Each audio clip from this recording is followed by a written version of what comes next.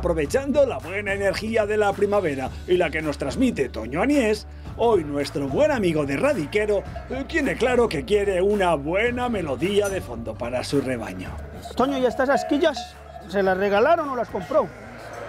Estas las hemos comprado a- al chico este que nos va a hacer las, las correas. Ah, vale. Teníamos también.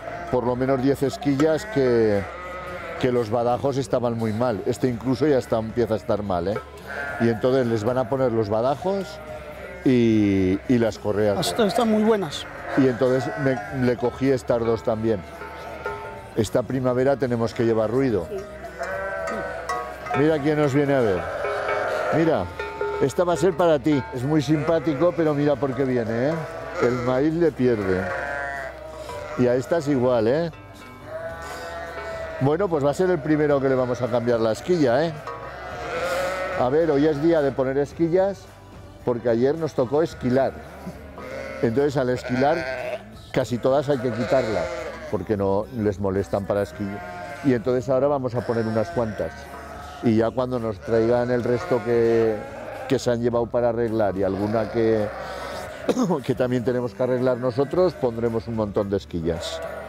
Hay que hacer ruido en primavera. Es más majo el rebaño con abundantes esquillas. Y ahora al esquilarlas, pues ya se las, se las colocas y en mucho tiempo no hay que... Uf, Parece que tienen ganas de llevar esquillas.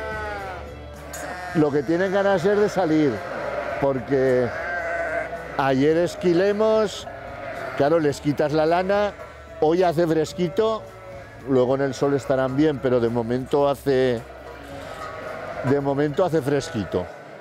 Entonces déjame las otras dos.